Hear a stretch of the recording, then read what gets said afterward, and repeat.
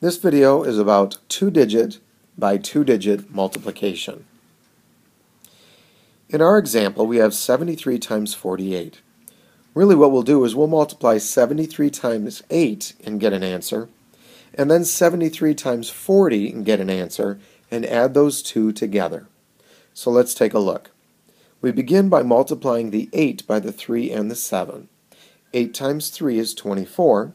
I write down the 4 in the ones place and carry the 2. Now I multiply 8 times 7, which is 56, add the 2 that I carried and get 58, and I write that down next to the 4. And that's step 1. 73 times 8 is 584. Now I do 73 times 4, but before I begin that, I cross off the 2 because that was from the earlier multiplication problem. Then I'm really not multiplying by 4, I'm multiplying by 40, so I tack on the 0 at the bottom first.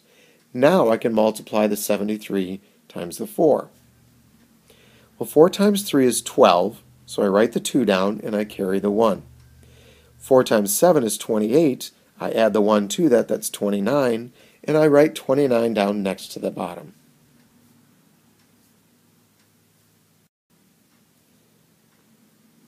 Now the final step is to add those two numbers together, the 584 and the 2920.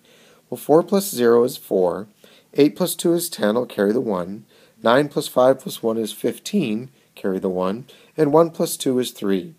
So 73 times 48 is 3,504. And that's how you do two-digit by two-digit multiplication.